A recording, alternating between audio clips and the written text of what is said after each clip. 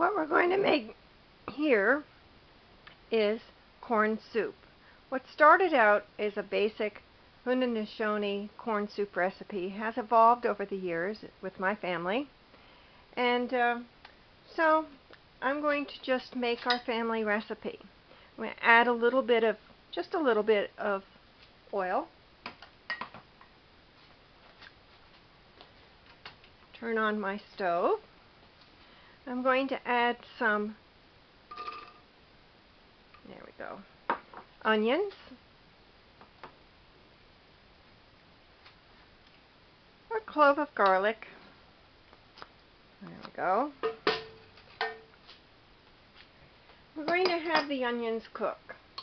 Now you can add salt pork or what I found works just as well is a couple pieces of bacon. Now the bacon is not going to get crispy. We're just going to um, cook it with the onions until the onions get a little uh, soft. Um, later on, we take out the bacon uh, because the bacon remains soft in, in the soup, but it does give it a very nice flavor. Uh,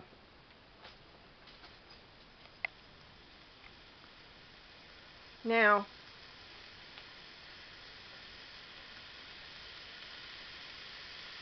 as soon as that cooks up a little bit, oh, it smells so good.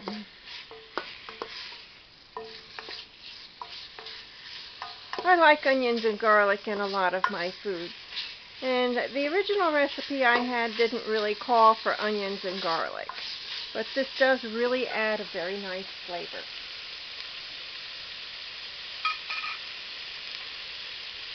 We have here some white hominy, which is very similar to washed corn that I used to get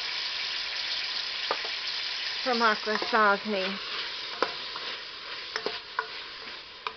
But now I'm living in Pennsylvania. I don't have access to it. So a can of white hominy works just fine. Now we're going to add a whole can of kidney beans.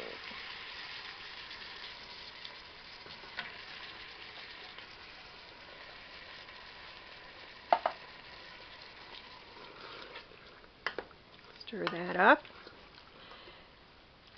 Now, you can make a huge pot, a little pot, as little of, as much of as you want with this. This is a great recipe to use in a huge quantity when you want to feed a lot of people. Now, my dad, he liked to have his corn soup with stewed tomatoes. So we added stewed tomatoes to our soup. Now I'm going to add some water. This is about four cups of water. Now I'm going to add in the tomatoes. And that is a delicious soup when it's all cooked and done. And you're going to simmer it for, oh, maybe 20-30 minutes on the stove. So let's bring it to a boil.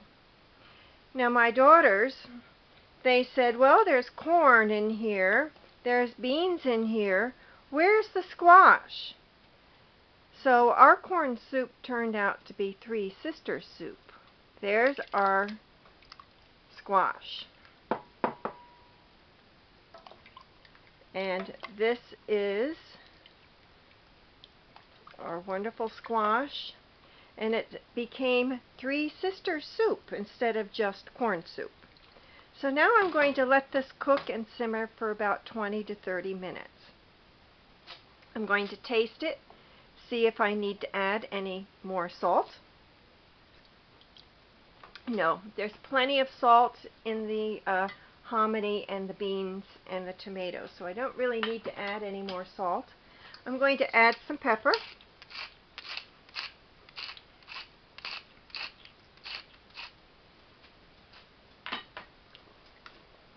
And as it cooks, all the flavors will blend in nicely together. So I'm going to bring it to a boil before I let it simmer. And now we have our Three Sisters soup. Easy to make. Now, when you make your squash, I had used a squash that I put, I cut in half.